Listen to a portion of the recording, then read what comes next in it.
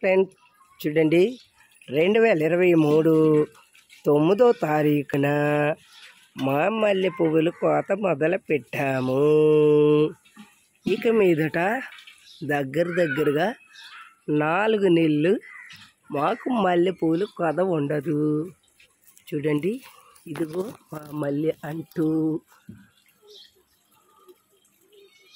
బాగున్నాయా? చూడండి.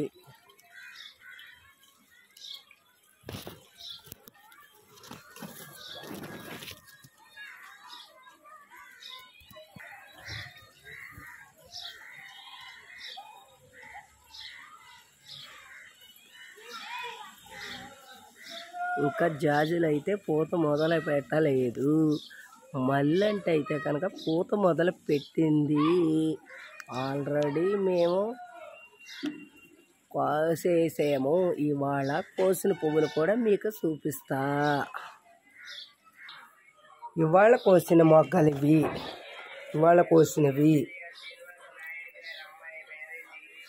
ఈ పువ్వులు నిన్నటివి.